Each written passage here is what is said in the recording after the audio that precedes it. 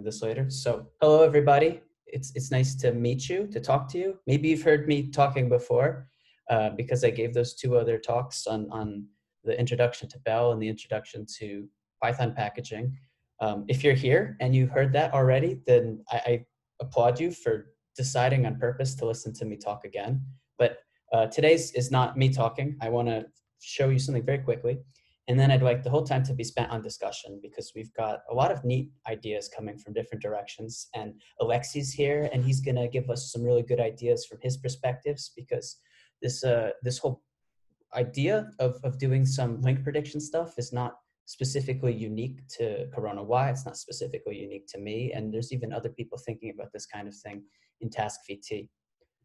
Um, unfortunately, Dan couldn't join us today. Uh, he's like busy doing everything else. So, you know, he'll, he'll be able to help us whenever he's got the chance. But for the most part, we can kind of self-organize.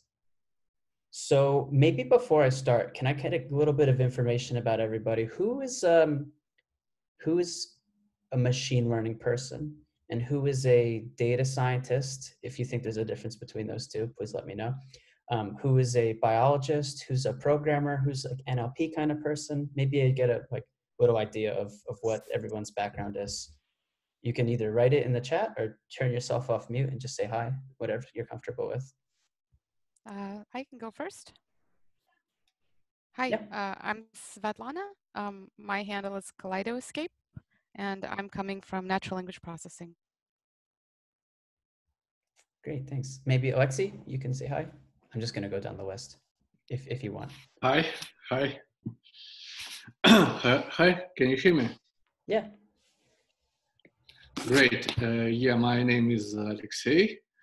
Uh, I have uh, some uh, machine learning background, but uh, basically, basically, basically, it is very limited.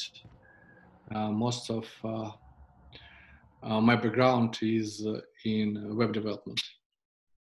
cool. Well, Okay, uh, hey there, on. Uh, can you? Am I audible? Yeah.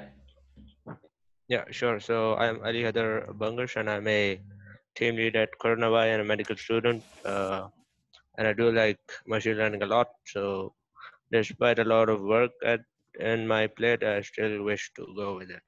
Yes. thanks. It's interesting. Okay, uh, Aman? Hi, can you hear me? Yeah, All right, so I'm a high school student, so I don't have much experience, but I am interested in data science and I'd like to learn more about the science side of this project too. great. We're gonna talk a little bit about that today. You'll, you'll learn a lot.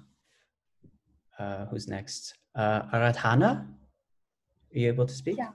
Hi. Yeah, hi, hi. Yeah, so uh, my name is Aradhana, and my most of the experience is uh, included in uh, NLP processing, and I have a somewhat experience with other machine learning stuffs too. Okay.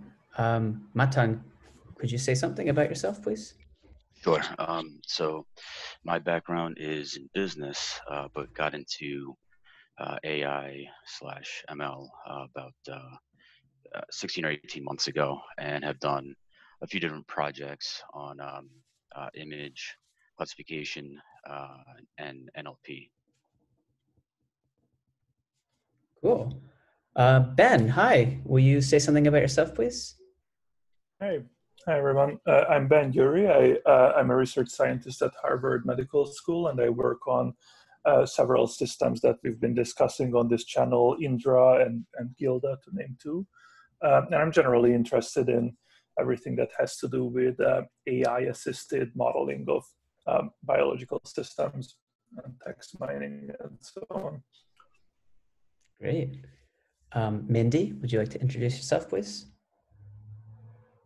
Hi everyone, I'm Mindy. Um, so I have a genetics background from science. Um, learned that in college, so it's been a while. Um, so worked in biotech for a while, then got into ML, um, and then starting a new gig at a startup that basically uses um, NLP, like NLU, specifically BERT and XLNet, um, for their clients. Um, to so their mission statement is to make everyone a genius at their job.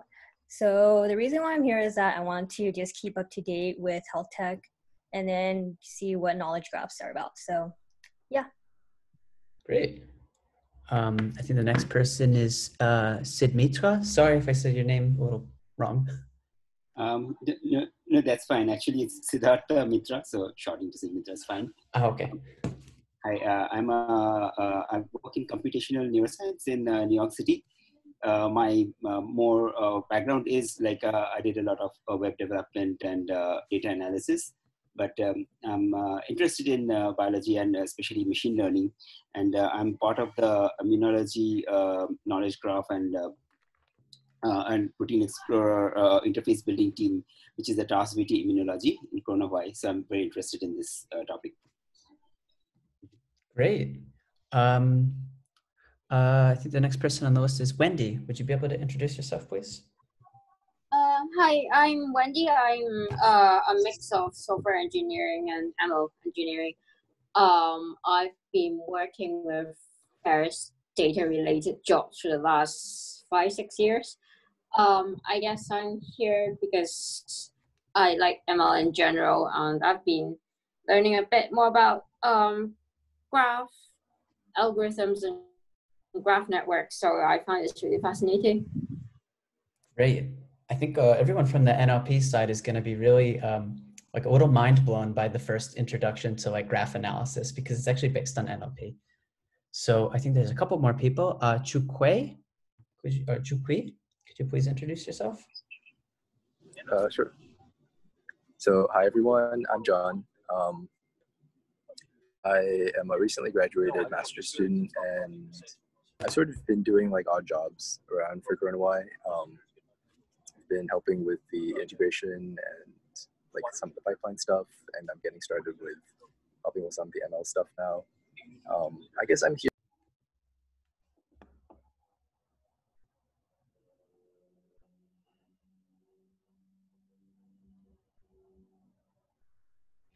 Oh, you might have cut out, or it's me. I think he cut out. Sorry, we can't hear you anymore. He muted his. Oh, um, sorry. Uh, where did I mute myself from? Like right after you said hi. oh. okay, so um, hi, I'm John. I've been mostly just doing um, odd jobs around CoronaWhy. Mostly been doing like integration stuff uh, with a lot of help from Charlie, and then getting started with the machine learning stuff. Um, my, my background is between ML and computer science. I, my master's was, was mostly focused on machine learning, and my undergrad was mostly computer science. So, yeah, I'm just here and looking to help. Great. Um, did I miss somebody? Did everyone get a chance to say hi?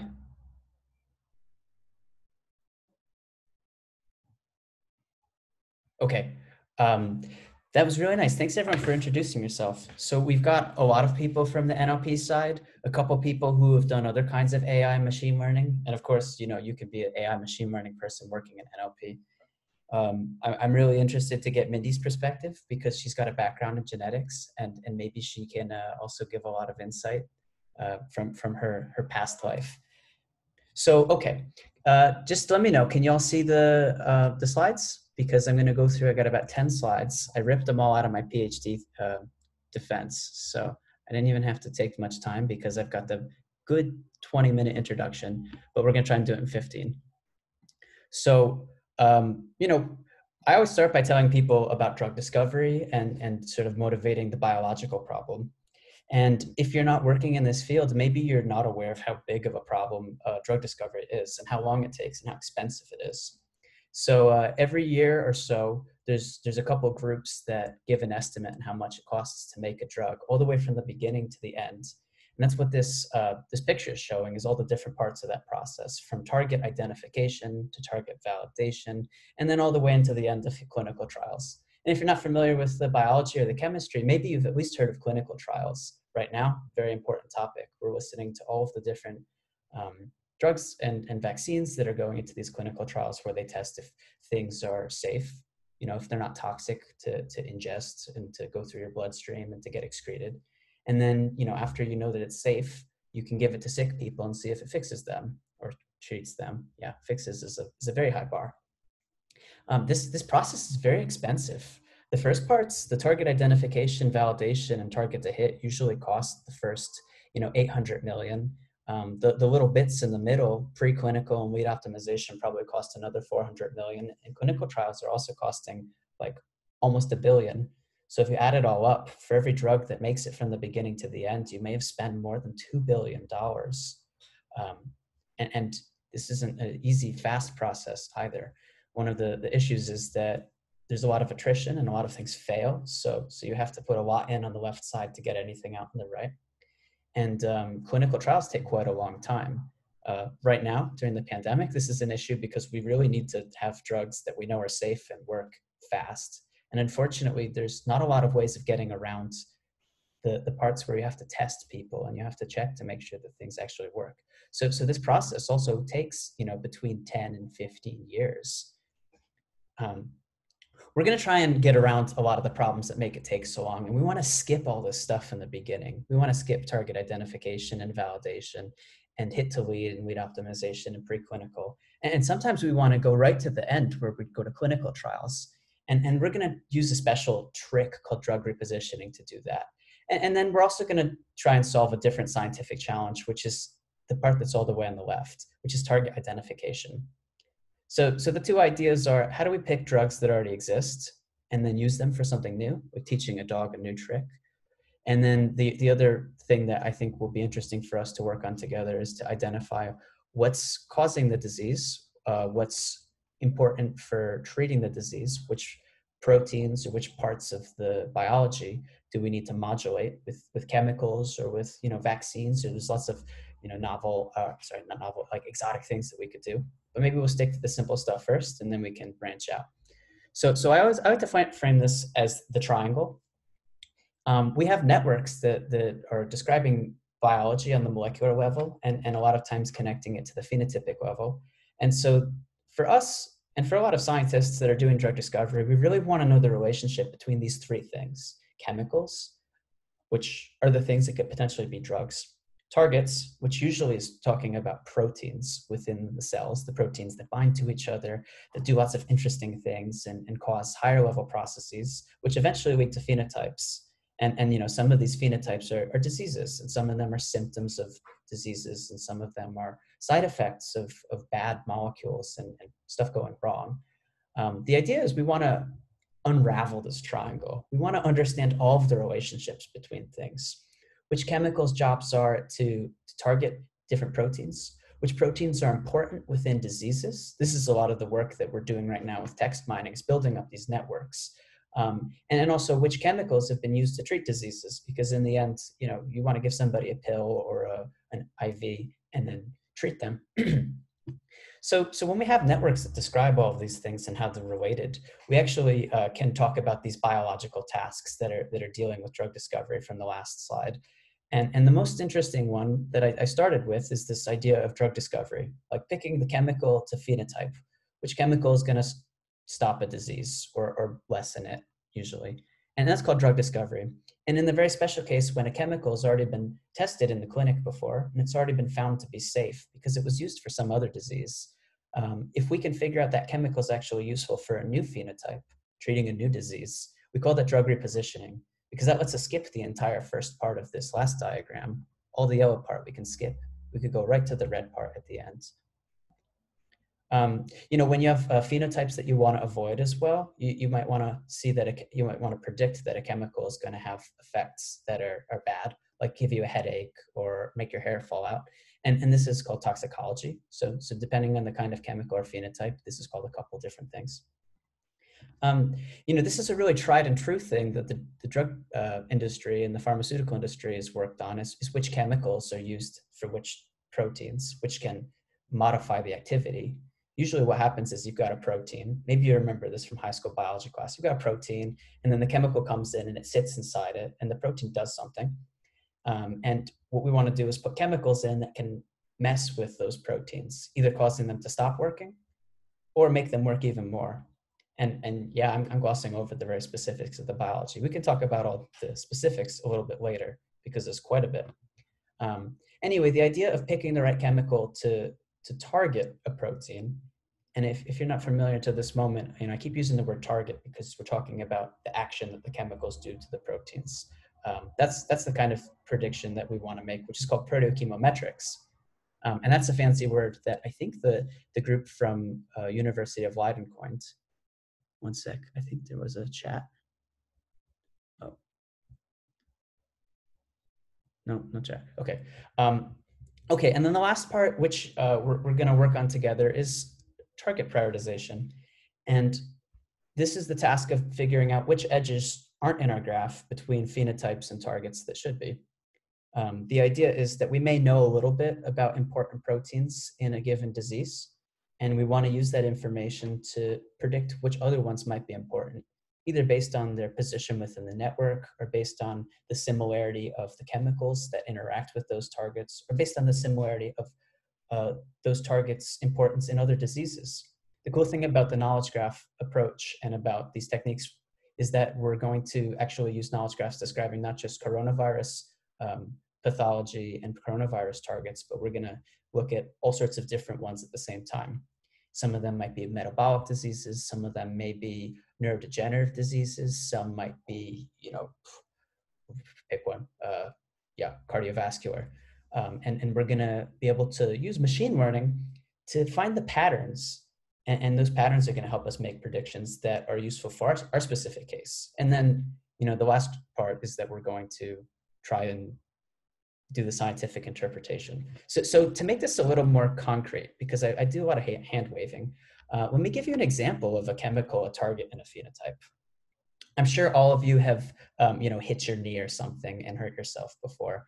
And a very common thing to take uh, when you've got, you know, muscle pain or joint pain is aspirin. And you know, in, in our knowledge graph, which if you're not a biologist, you have a very small biology knowledge graph in your head, but you know that aspirin is useful for pain. Um, and, and that's good because what we can do is use a network to describe actually what causes aspirin to do its job. It turns out that aspirin is inhibiting a protein, uh, actually a, a, complex of two proteins called cyclooxygenases 1 and 2. We've got this pretty picture of two proteins, the blue and the uh, green one coming together. And uh, yeah, so aspirin stops this, this protein cyclooxygenase from doing its job, which uh, from a very high level, the job of this protein is to make pain signals. So um, yeah, it tells it to stop doing that and then you don't have as much pain.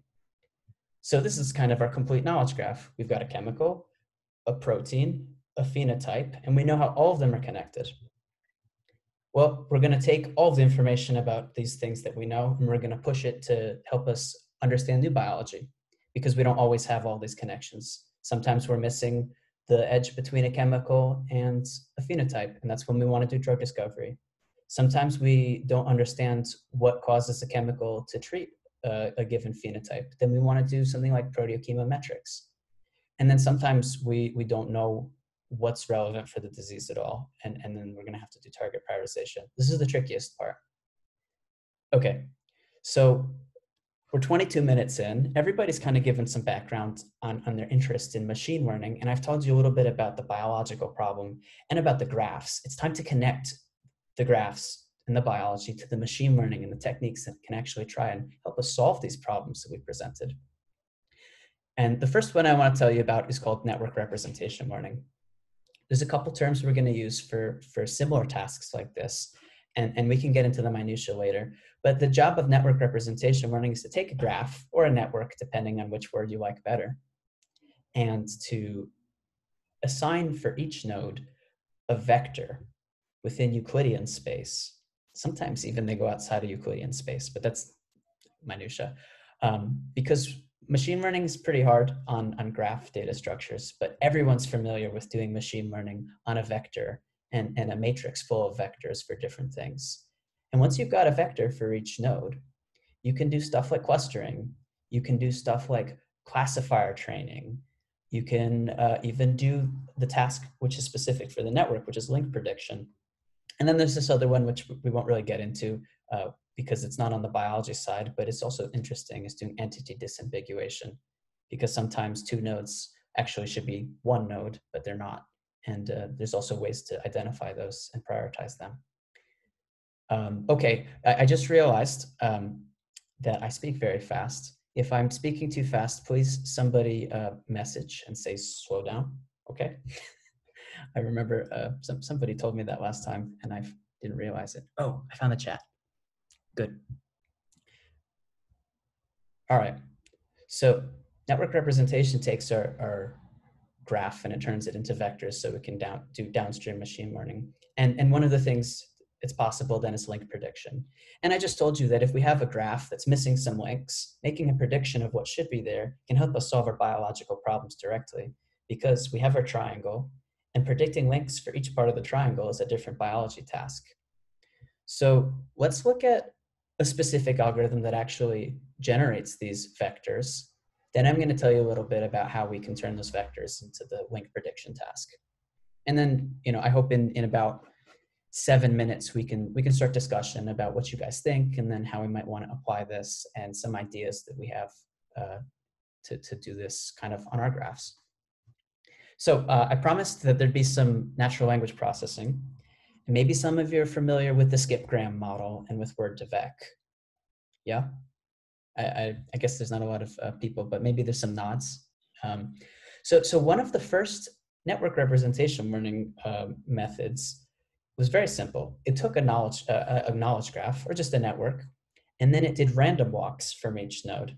And so the idea is that you start with, um, you start at a node and you look at all the edges that it has. You follow one of the edges, and then you look at all the edges that one has, and you follow it. And you do this until you've got, you know, a walk that has a length of three or four, maybe five. And you do this over and over and over for all of your nodes within the graph. And then you put it into a language model. Now, the job of the skipgram language model is to uh, assign vectors to words, and it assigns similar vectors to words that occur within a similar context. Well, it turns out that the community structure within a network, which nodes are close to each other and which nodes are connected to the same nodes, has very similar properties to words occurring in sentences. So as wild as it sounds, generating these, these walks from a, a graph and putting it into a language model and considering the walk as a sentence and the node as a word allows you to get vectors the same way you'd get vectors for words using the language model and, and then apply the same way you'd apply a language model. Because once you've got the vectors, you can do all sorts of things. Um, this was, for me, very surprising when I learned about this the first time. It almost is, is counterintuitive how a, a natural language processing technique can be used to solve a problem that has nothing to do with language at all. Um, yeah, so so I was really interested. This this is an old algorithm. This was written in 2014, and there's been lots of different improvements because people have lots of ideas and what if we generate walks differently? What if we try and include more information? Um, you know, one of the caveats of this method is it doesn't really know the difference between different kinds of nodes. It doesn't know about the directions of edges or about the different kinds of edges. So there's lots of room for improvement from this first algorithm. And, um, you know, what happens is the, the nice parallel between random walks and um, natural language processing, that kind of falls apart as you start to get into the specifics of knowledge graphs. But you know what? That's okay. It's nice to start somewhere simple. And, and uh, this very common graph, for example, is called the karate graph. That's, that's on the right side of this page. And you know, the, the job was to make vectors for each node. And once you do that, you can embed those vectors in very low dimensional space. So you can see that a graph gets turned into a 2D vector space.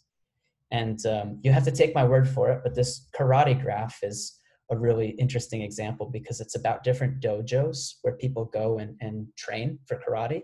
And it's about the students and the uh, instructors.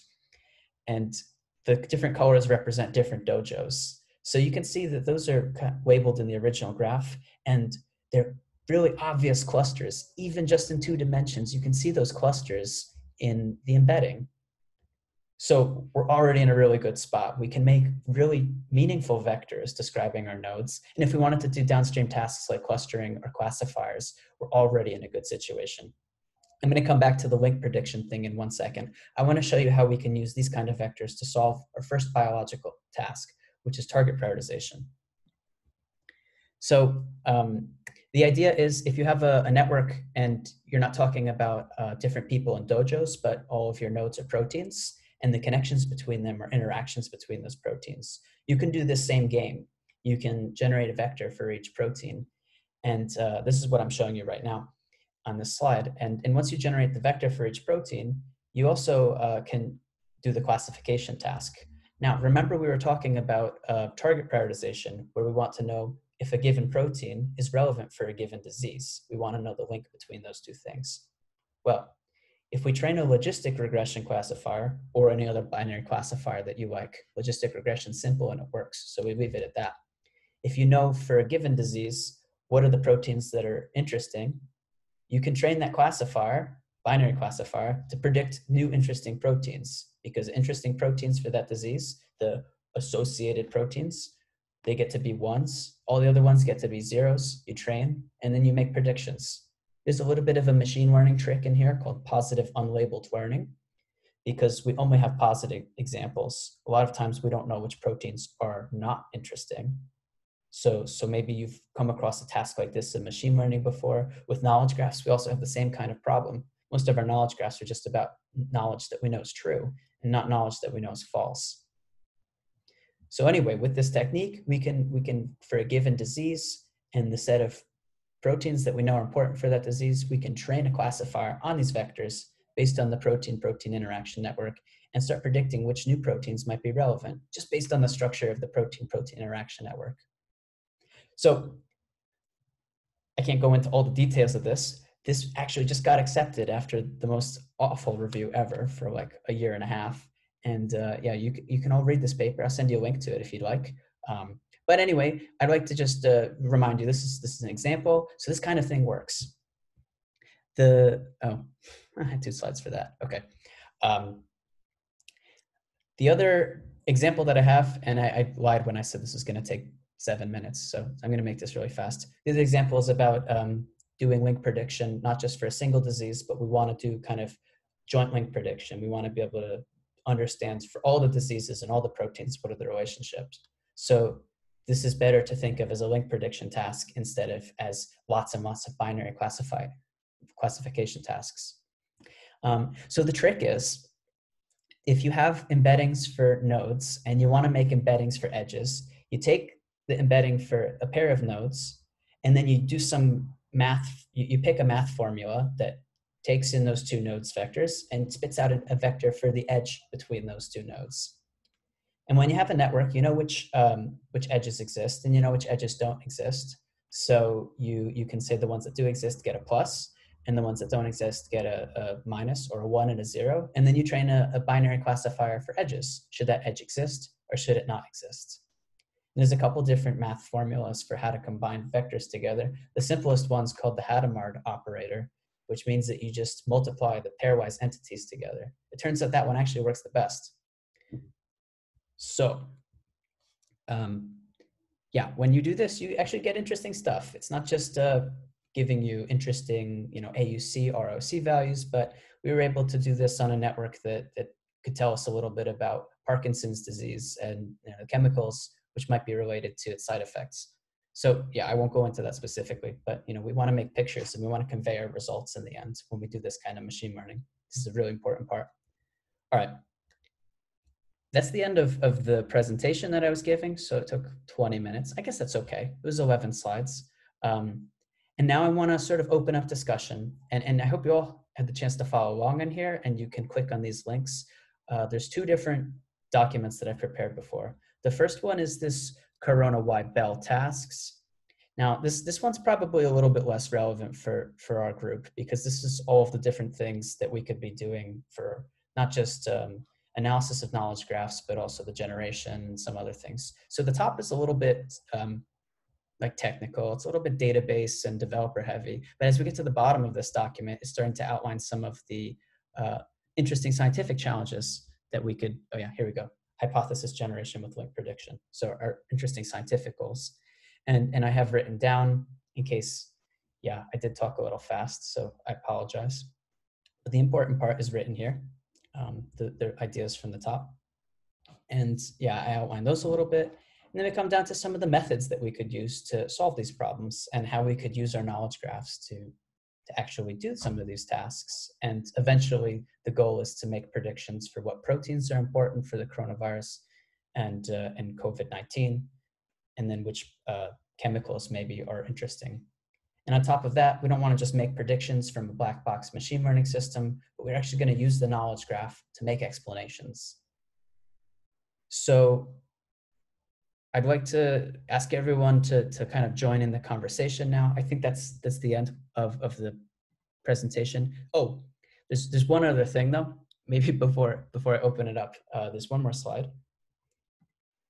There's there's a, a specific machine learning library that, that I've been working on that we're going to use for this task, and uh, we actually just uh, published it today on arXiv. Um, though we need to get a certain number of stars on GitHub to to submit it to the journal we want to. So I would appreciate if you guys got the chance to to click on that link and star our repository on GitHub. But you know, besides that, um, I think I think the the things that we should discuss right now is for people who who don't understand the task so much, if they want to know a little bit more um, on the scientific side. For, for you who are, are becoming new to knowledge graph embeddings and, and to natural language, oh, so for, sorry, network representation learning, which, which sometimes we interchange with knowledge graph embeddings. we can talk a little bit about that methodology. Um, and then my idea was to give everybody the chance who wants to sort of a space to do the hello, room, hello world uh, program for knowledge graph embeddings. Um, you know, it's pretty easy to, to get started actually using some of these techniques and to get something interesting. Um, so everyone who wants to start from zero is going to get the chance to do that. And then, yeah, so, so I showed you this first document that had like all of the tasks that I could imagine. And on the right side, I have kind of a project outline for if we all want to work together to create sort of a holistic package, like a, a little research project where we can try doing this for a small network, a medium network, and then a large network. And we can use a couple different methodologies. Then we can apply them to our, our disease area and and see what we get and then we can you know discuss and we can come up with ideas and then the last part we, we have to come back to um, doing a little bit of biological explanation but if you do all these things together you can actually publish an academic paper and maybe some of you have published papers before in academia some of you are in high school which is awesome this is going to be a cool experience some of you might be um, master's students or phds maybe some bachelors and then for everybody else who's who's been in academia at some point or left you know, this is still kind of a fun exercise. So uh, it would be neat to look forward to writing a nice little paper. Maybe we could submit to a, a conference or, or if we do it really well, we can submit to a journal and that might be a really neat way to show that the CoronaWhy, um, you know, unmanagement system works. I really like this, this phrase they were using the other day.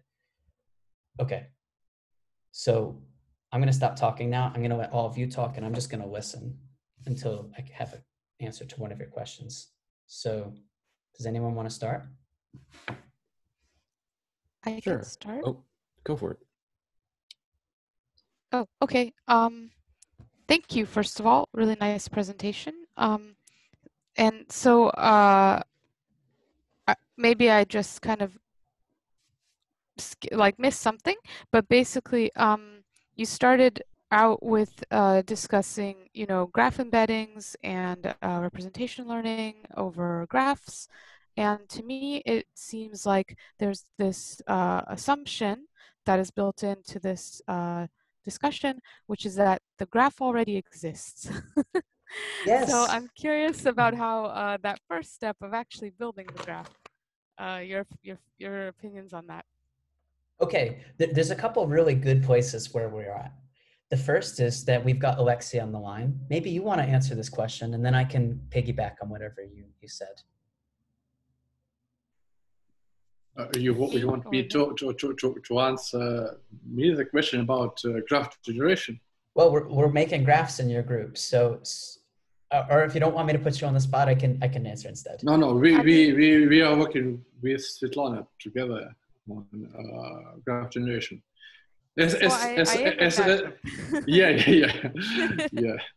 Uh, as far as uh, I can understand, uh, there are three ways to get uh, a knowledge graph. First uh, way is just use uh, existing graph, right? That was uh, built uh, by other groups manually or uh, with some tools.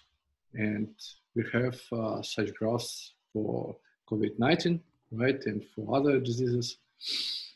Second uh, way we could use structured databases, knowledge bases, like GenBank, uh,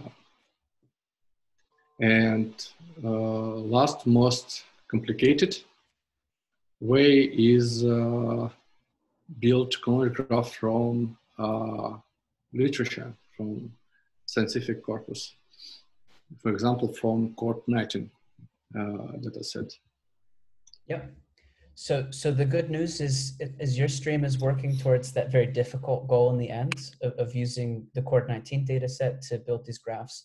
Um, we already have a lot of experience. Well, I, I've got a lot to, to give where we can start with knowledge graphs that cover lots of different areas of biology. Uh, a big part of my PhD was about putting together these big data sets. And, and now my, my job is also building massive knowledge graphs that describe a lot of different kinds of biology.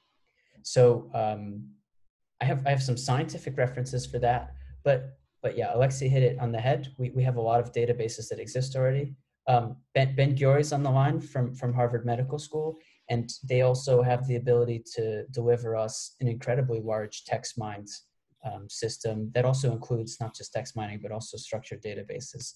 With um, what I think of as the secret sauce from theirs is this um, confidence uh, scoring for all of the edges that are added to the network as well based on a combination of, of what resource it came from and and uh, this different levels of specificity because we also you know see very high granularity and very low granularity in the networks and the edges that we get from different sources. Ben, do you want to say something to that? Uh, yeah, I think this is a more general remark about kind of conceptually about what networks uh, to use. So um, the, the things that we are working on, both with text mining and with, with collecting uh, um, mechanisms from pathway databases and other structured sources, uh, really focuses on causal and directional relationships. So A phosphorylates B, A activates B, A increases the amount of B, and so on. Um, network representation learning doesn't necessarily use that information or require that information. You can, you can do network representation learning with a simple association graph with undirected edges where you can say something like uh, headache is associated with aspirin and it's a valid, valid, uh, valid link. Um, so um, I think what we are producing is particularly useful for explanations for constructing mechanistic explanations for why a given drug works the way it does. Uh, like, uh, uh, you know, why does hydroxychloroquine inhibit SARS-CoV-2 in vitro? Uh, uh, we could, with, with, with the kinds of mechanisms that we reconstruct, uh, answer questions like that. Whereas for network representation learning, uh, you might be able to actually pick up a lot of uh, non-causal associational information um, uh, that helps you learn a good representation, right? And so there's a distinction between these two things. I think. Yeah, I'm on the same page as Ben with this one. I think that we, we have the ability to incorporate lots of information in, uh, in, in this network representation learning world. You, you don't necessarily care about the types of edges. And, and the only difference to the knowledge graph embedding world is then you do start to model the types of edges and, and differences between them. So it may be possible right. to actually make predictions like this protein increases that protein hmm, versus yeah. this protein decreases that protein. So, so I would, I, maybe one approach could be to, so, I, so I think as far as the, the graph used for network representation learning goes, we can pretty liberally dump stuff in there because it's robust to, it's robust to uh, a lot of, uh, lot of uh, things. And then use that for initial discovery. And then once that highlights a certain set of associations that could be relevant, then we could look at a more precise, directed, mechanistic uh, uh, model and try to explain those, right? And uh, I, I, think that's Charlie what you had in mind. Yes, this is exactly well. what I had in mind. Thank you. Um, uh, Charlie, one more thing. John is trying to get in on the call, and his you have to let him in. I think. Oh, bummer. Okay, got it. Thank you. Good. He should be in. All right. Yeah. And and uh, so so the way I was thinking is that I have a couple graphs that are prepared. Um, there's the one that is a very small one that we can use as a pilot because um, one of the problems with these methods is they do become a little intensive computationally. So when we start with small graphs that, that have a lot of information about the chemistry, you can maybe run those on your laptops. And then we can, we can scale up to other medium-sized graphs that have been published for similar tasks like drug repositioning. Um, one of them is called the Hetionet. Another one is uh, a recent improvement to the Hetionet called the drug repositioning knowledge graph and then the, the biggest scale up would be to see what kind of combination of the, the dump from text mining from Indra and, and also a lot of these structured databases where, where we could go, you know, maybe two orders of magnitude bigger than these other knowledge graphs, I think, if we start using these. So, so that's, that's a, down the road, if we, if we get that far and we, we're all really working towards this goal, we can use these supersized graphs. Um, otherwise, there's, there's smarter ways that we can cut them up and and make them a little bit more amenable to to playtime. Yeah, this is playtime for now. Do you have um, a way of measuring the accuracy or quality of a knowledge graph this or correctness? A, yeah, this is a little tricky. Um, there's a lot of different things that we've we've done in, in different communities for, for the correctness of graphs um, John, John, made a smirk, so I bet he's got an idea on this. But uh, I actually wrote something very technical solution to this that I, I conveyed to Alexi. Is one of them is um, finding edges that are sort of redundant of each other and ones that are uh, inverses of each other. And, and, when it comes to network representation learning, you have to actually split your, your graph into a, a testing and a training set before doing machine learning tasks. And you want to make sure that edges that are highly correlated don't uh, end up in both the training and the testing sets because then you're going to get a uh, unfair evaluation because if you have really obvious correlations then you just make that prediction every time um, so, so that's like a very shallow explanation of, of that issue uh, john did you have an idea you wanted to say uh, well um, at the level it's, a, it's sort of an interesting question i mean one way to look at it is trying to evaluate uh, the correctness of individual edges, right? And this is one of the things that we've been working on in Indra for a long time by looking at overlaps uh, between different readers and relationships between different types of statements uh, at different levels of specificity. Um, this is implemented in the Indra belief engine.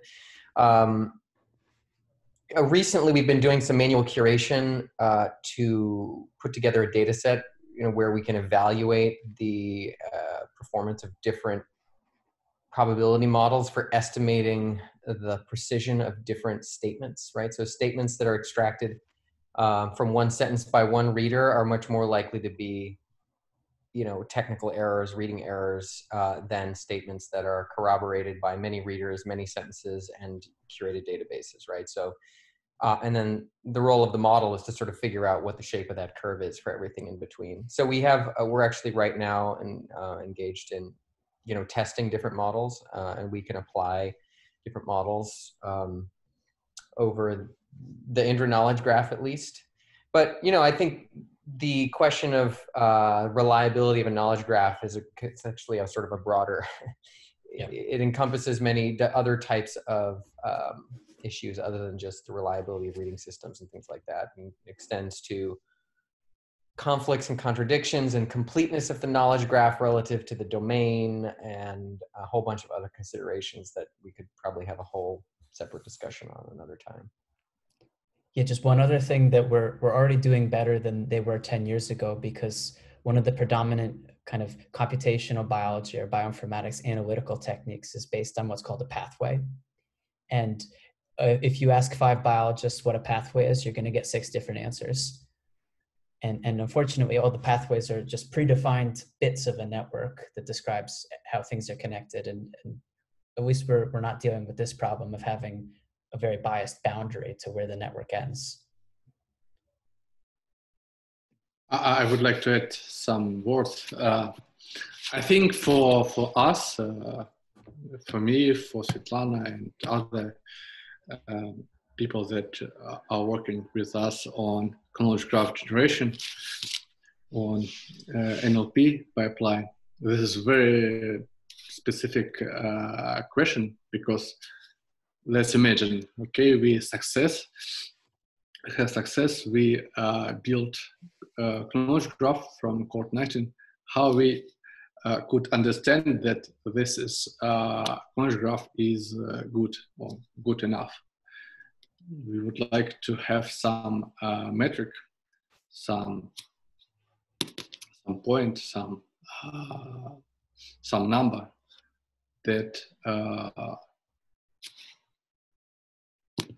uh, uh, that uh, would say to us that we we done well. Yeah, I, I think John and Ben's approach might be the most appropriate one for analyzing the, the goodness of the text mining that Yeah, I, I, I, understand that. Uh, of course, you could evaluate uh, accuracy of uh, named entity recognition. You could evaluate it. You have to, obviously, you have to evaluate uh, accuracy of uh, relation extraction. But uh, in the same time, I realized that uh, there are uh, several ways to build uh, knowledge graph with uh, with um, one one set of uh, relations. And I thought I thought that BEL uh, biological expression language was designed with idea of uh, uh, computational purpose. No, Yeah, for for some kind of reasoning over over data that you might be measuring also from from a cell or a, yeah this kind of thing. But and, and, and that's why we uh, use well because it defines how it should be, right? Yeah, for, for a certain set of tasks, you know, you know, BEL BEL was kind of in the middle between being a formalism for graphs and also being a, a data structure that's useful for analysis. It kind of sits right in the middle. There's also data structures that aren't very useful for analysis that might be more useful for storing uh, certain kinds of biology. And there's also analytical uh, data structures that are totally useless for storing stuff that you get out of text mining. And, and there's this whole spectrum. And, and I actually steal John's slide every time I want to explain this well i didn't steal his slide i made it myself but the, the explanation i stole from him Nice. um so, so yeah i think we could do a I lot of just- this I just, yeah. I'll say just one final thing in response to Alexei. I mean, you're right that when you know the NLP community has all these different ways of measuring precision and recall of a reading system, and you could test the different components, just like you say. Um, the way that we, it's worth noting that the way that we evaluate reading systems is is sort of particular in the sense that, um, so if you have a supervised reading system, often what you're doing is you have a bunch of sentences and then you have the sort of target extractions from those sentences. And then if you don't get a ma- some kind of match then you score it as you know if you get a match to what was in the training data set you score it as you know right or wrong and then you use that to generate your precision recall. Um, in one of the problems with that approach is that uh, sometimes the reading systems can get something that is sort of defensible from the sentence but isn't it's not it's because there's a matching problem between what's in the data set and and and what all the things that could be extracted from that sentence. So that's actually a tricky problem. So what we do when we evaluate reading systems is we go back and manually we look at every extraction and then we look at the sentence and we say not is this the correct interpretation of the sentence but is it not incorrect in the sense that does this sentence provide justification for this extraction? So it's actually a, it's a more lax or minimal standard right? Because readers that, that sort of have a lower bar in terms of the specificity that they're trying to produce will will score higher in that sense potentially. But um, you know that being said i think that's the most relevant uh, metric in terms of what a scientist is looking for. They see an extraction, they want to know, okay, does this have any basis in the literature? And if I look at the sentence, will this sentence tell me that you know support that this support this extraction that the machine got. Um, so that's how we score things, uh, and we you know we can score different readers on that basis, and we have we have scores now for you know four or five different readers. So that's it in terms of like the, does the system work or not. That could be an evaluation that we could do for the system that you guys are putting together as well. Oh, um, sorry, if you got more to add to that, I, I have like some some kind of time-based notes because we've got about six minutes left, and I have a question for everybody. But go ahead, Ben. Uh, I, all I wanted to say is that I, I think uh, some of the discussion was about uh, edge level correctness, but in terms of more um, uh, network level correctness. I mean, the network representation learning can be benchmarked by, for instance, uh, removing known existing edges and then trying to predict them and looking at the statistics of how that works and so on, right? So it's so there are actually ways of uh, talking about network level uh, correctness. Um, uh, and I, I, actually think that network representation learning should be fairly robust to a certain error rate in edge level incorrect information. So good. Let me let me segue out of that because I'm as a an MC for meetings notorious for saying, "eh, it was supposed to be an hour, but let's keep talking anyway." So I, I want to make sure that we have some closure at the end of this one hour. So we have five minutes left, and I think that we did something very, very important, and it was really good discussion started by Svetlana. That to do any downstream analysis, we always have to talk about what are the networks, where do they come from, and how are we going to get them. So I hope everybody's learned a little bit about the kind of stuff that we're going to be able to pull in.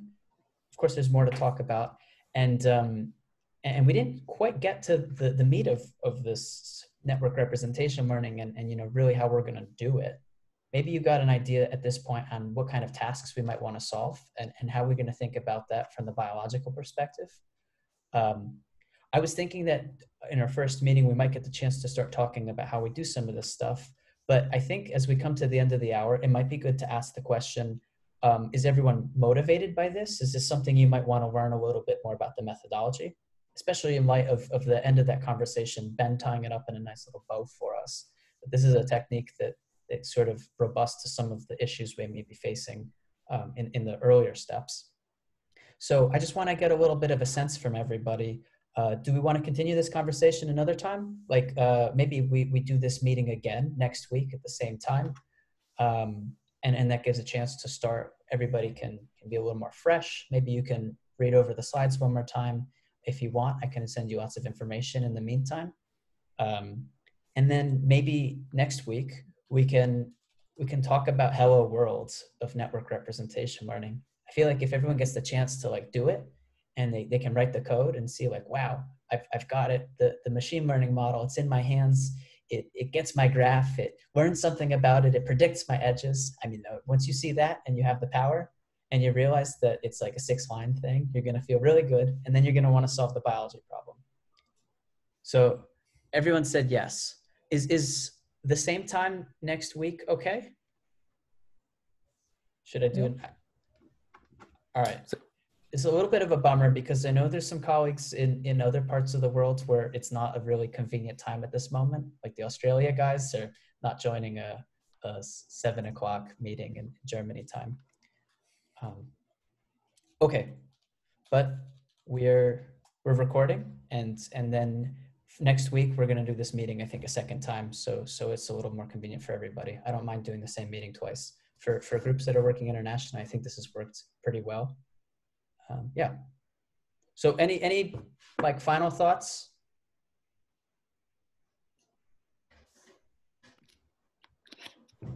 I, I, would like uh, I, I, would like to say uh, thank you for uh, for your efforts for your presentation uh, I think this is really amazing. This is just my um, main motivation to work on uh, knowledge graph is a, a, hope to build a hypothesis generation system, some reasoning system.